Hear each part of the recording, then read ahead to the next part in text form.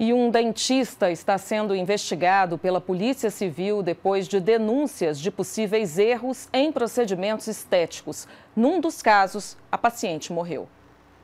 Leonice Garcia tinha 63 anos.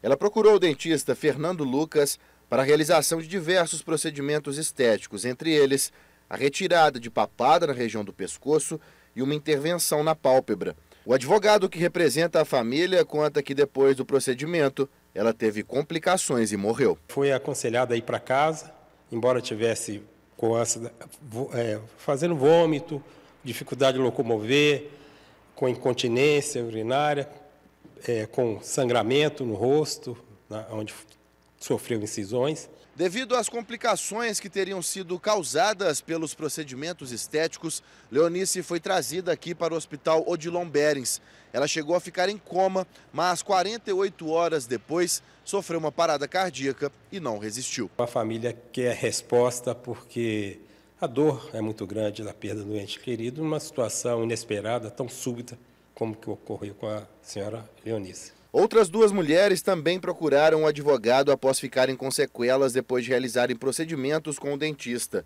Uma delas é a dona Eva, de 73 anos. Ela chegou a fazer uma intervenção bem sucedida no pescoço, mas desenvolveu problemas ao fazer uma segunda cirurgia, dessa vez nos olhos. Eu ando assim, com esse curativo, porque a lágrima corre e fere a minha pele, dá buraco. Aí eu tenho que tomar antibiótico para poder recuperar.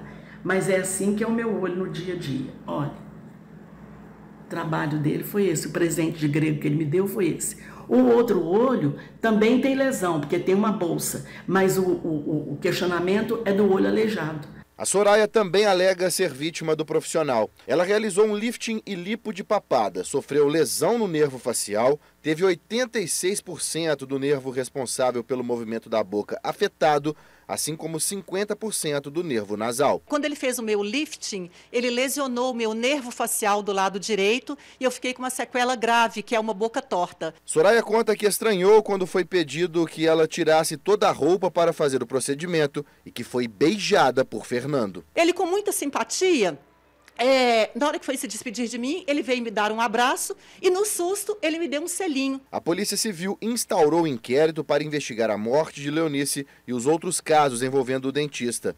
Nós procuramos a defesa do profissional, mas ainda não tivemos resposta.